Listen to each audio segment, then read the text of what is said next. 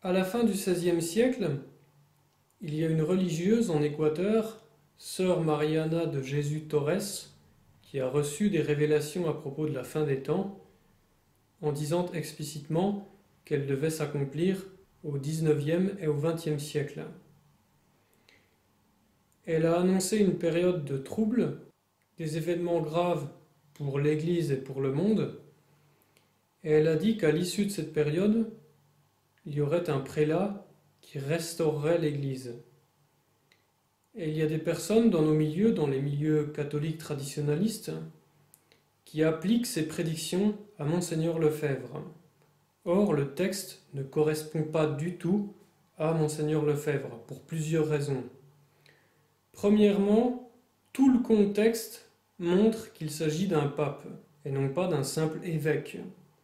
Rien que dans le vocabulaire, il est écrit prélat et père avec une majuscule, avec un grand P. Prélat avec un grand P, père avec un grand P. Et il est question de l'absence d'un prélat. C'est-à-dire qu'il y a d'abord une absence de vrai pape à Rome pour enseigner la vérité, et c'est à l'issue de cette période de trouble qu'un vrai pape est rendu à l'Église pour restaurer l'Église. Donc le contexte montre de façon évidente qu'il s'agit d'un pape et non pas d'un simple évêque. Les prophéties de Quito sont claires. D'ailleurs, et j'en viens au deuxième point, il est question de quelqu'un qui mettra un terme à ces temps malheureux, qui mettra un terme aux troubles dans l'Église. Or, monseigneur Lefebvre n'a pas du tout mis un terme à ces troubles.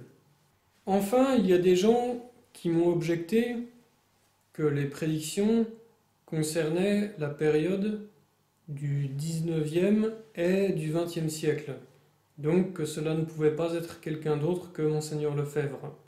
Or, dans le texte, il est justement expliqué que le clergé de l'époque devra prier pour la venue du, prélat qui doit euh, restaurer l'Église, donc il ne s'agit pas de quelqu'un qui est déjà là au XXe siècle.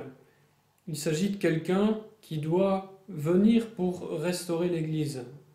Donc ça ne peut pas du tout correspondre à Monseigneur Lefebvre.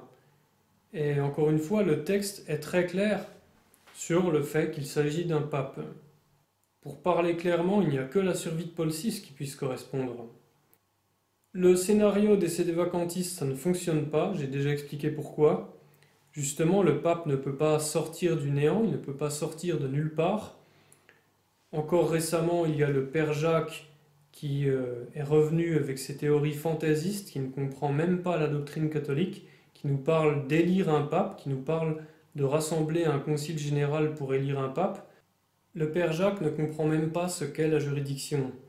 Actuellement, si le siège de Pierre était vacant, il y aurait depuis longtemps eu des efforts en vue de l'élection d'un pape avec des personnes titulaires de la juridiction ordinaire. Et ça, le Père Jacques n'est même pas capable de s'en rendre compte. Il dit, vers la fin de sa dernière vidéo, que jusqu'à maintenant, il n'y a pas eu de vraie tentative pour élire un pape. Mais justement, ça prouve qu'il y a bien un pape légitime en vie. Si durant des décennies, il n'y a pas eu de vraie tentative de l'Église pour élire un pape, alors ça signifie qu'il y a actuellement un pape légitime en vie. Il n'est même pas capable de s'en rendre compte. Donc la prophétie de Quito ne signifie pas qu'il n'y a plus de pape au XXe siècle, dans la seconde moitié du XXe siècle. Elle signifie simplement qu'il n'est pas présent de façon apparente à Rome. Et c'est ensuite, à l'issue de son exil, qu'il est rendu à l'Église, comme l'expliquent les meilleurs commentateurs de l'Apocalypse, pour restaurer l'Église, comme le pontife Jésus lorsqu'il est revenu de la captivité babylonienne pour restaurer la théocratie juive. Il y a vraiment un parallèle entre les deux et l'Apocalypse elle-même établit ce parallèle puisque le pape restaurateur est comparé au pontife Jésus avec euh, cette fameuse prédiction l'accusateur a été rejeté qui est une allusion au livre de Zacharie.